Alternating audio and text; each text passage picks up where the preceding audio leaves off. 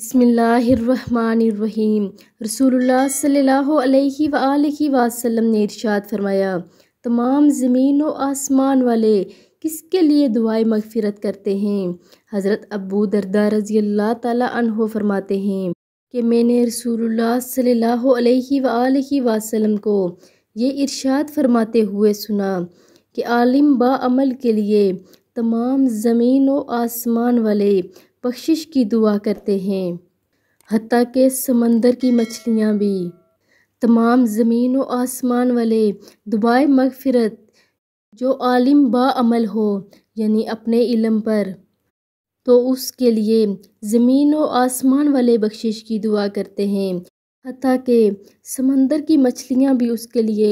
मगफरत की दुआ करती हैं अल्लाह पाक हमें अमल की तोफ़ी अता फ़रमाएँ आमीन सुम आमीन